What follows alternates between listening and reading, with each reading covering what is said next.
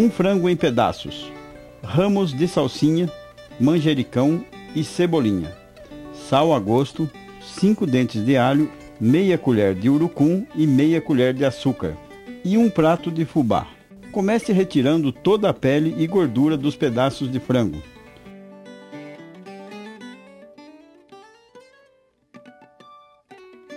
Depois passe o fubá em toda a carne. Esse processo vai retirar todo o restante da gordura que ficou no frango.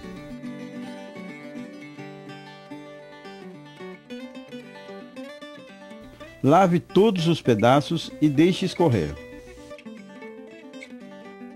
Numa panela grossa, esquente 5 colheres de óleo, adicione o açúcar e deixe queimar até ponto de calda.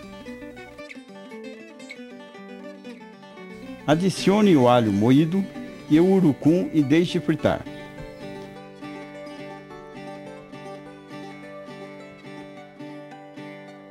Coloque os pedaços de frango e deixe refogar bem. Não coloque água.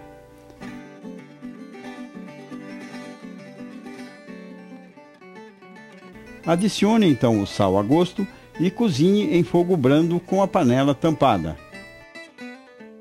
Mexa de vez em quando.